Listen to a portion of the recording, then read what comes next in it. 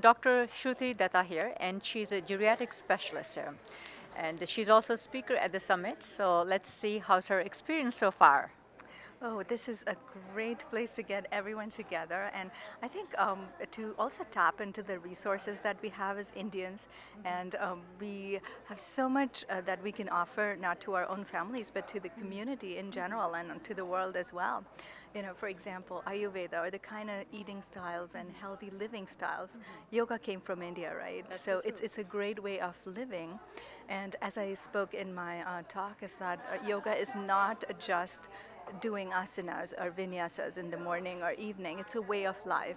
And yoga and leads into mindfulness. And what is mindfulness? It's pretty much, you know, living in the moment and not really Living in the uh, moment, yeah, yes. exactly. And not uh, really thinking about what's going to happen or what are the consequences of this. Just enjoying the moment, enjoying the little things that can come from that moment, you know, appreciating sunlight, appreciating the flowers around you.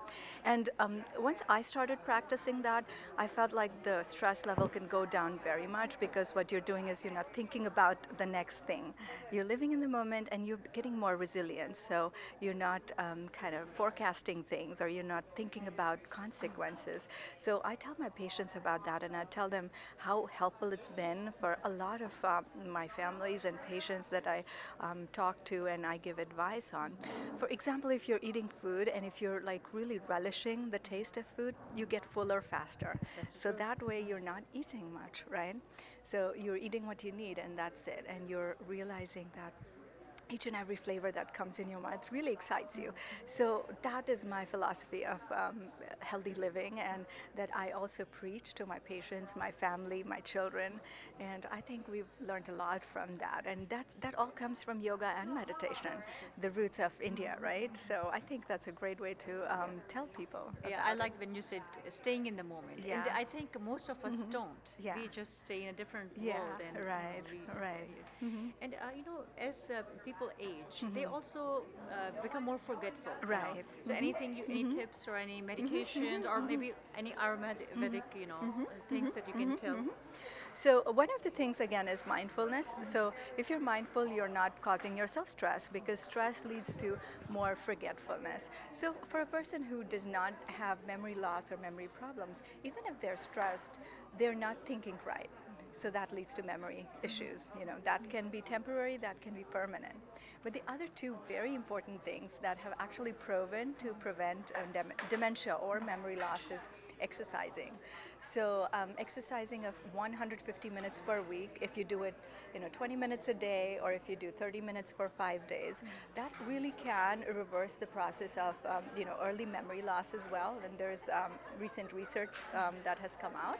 And the other thing is our own haldi or Haldi, turmeric, yeah. right? And um, I also tell um, the people that you know using turmeric in um, milk at night that calms you down, that gives you a rejuvenating sleep, and that also helps prevent inflammation, right? So turmeric, um, with the aspect of um, it having anti-inflammatory properties, it helps reverse the you know aging process, or it helps prevent. So starting early is the key. Um, there is um, you know no time for postponement. Uh, postponement. We should start right now, and that's what I tell people. And yeah, sorry, go ahead. tur- turmeric can be very like bitter to taste, Right, know, especially right. milk. Can we, you know, can we, you know how I know there are some capsules or something like that that Um, yeah, the, the capsules can, uh, but they don't get absorbed as much to go to your brain. So turmeric in cooked form really helps if you're cooking it in a little bit of ghee or coconut oil. That really helps absorb. And if you use it with milk and black pepper, so that is very helpful. Um, so I have my own YouTube channel called Mindful Scoops. So if you go there, there's a recipe that I've put in for haldi doodh or turmeric milk. That is so helpful because it's tasty.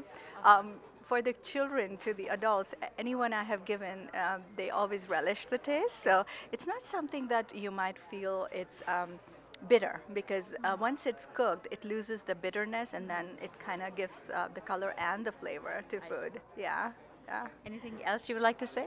Yeah, I think um, you know, start now. It's never too late. Yes. You can reverse the changes and be mindful. Enjoy each moment of the life. That's my philosophy.